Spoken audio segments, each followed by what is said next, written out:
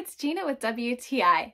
If you're a child of the 90s like I am, then you're going to be delighted with this Aonco portable CD player.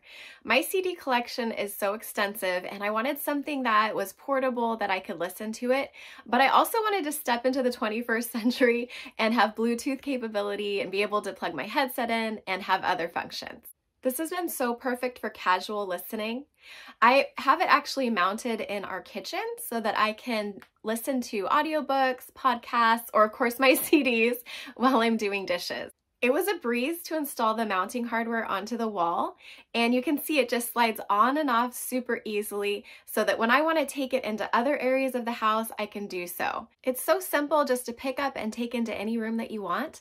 I like to take it into our bedroom, the bathroom, or the living room and just listen to all my old tunes. I like the stand that it comes with so it can support itself on any surface. I found that the volume is perfect for the small area that we live in. And of course, you're gonna wanna hear what the sound is like. So here's a small clip for you.